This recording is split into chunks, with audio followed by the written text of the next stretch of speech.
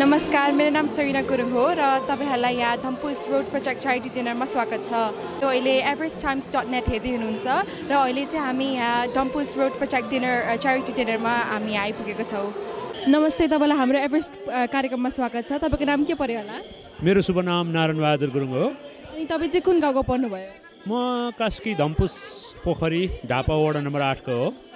अनि तपाईँ हाम्रो गाउँ धम्पुसको बारेमा अलिअलि शब्दहरू भनिदिनुहोस् न। अहिले हाम्रो धम्पुस गाविसम्म चाहिँ यो घट्टे खोलादेखि खाने गाउँसम्म मोटर बाटो हुँदैछ। यसको लागि चाहिँ हामी युके धम्पुस परिवारबाट सक्दो सहयोग बल गर्दैछ।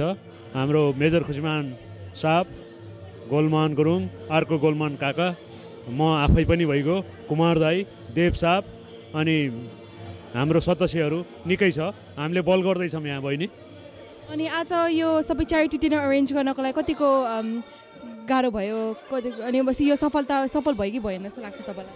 यो च्यारिटी नाइट सफल गर्नको लागि हामीले चाहिँ झन्डै तिन हप्ता चाहिँ प्रिपेरेसन गर्न लाग्यो।